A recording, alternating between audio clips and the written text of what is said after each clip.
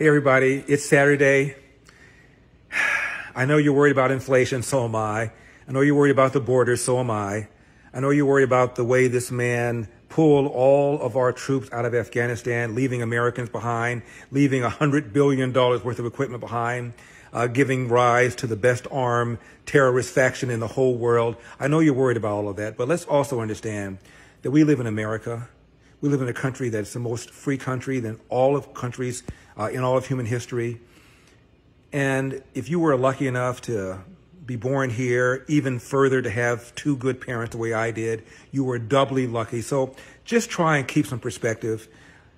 We got a country to save.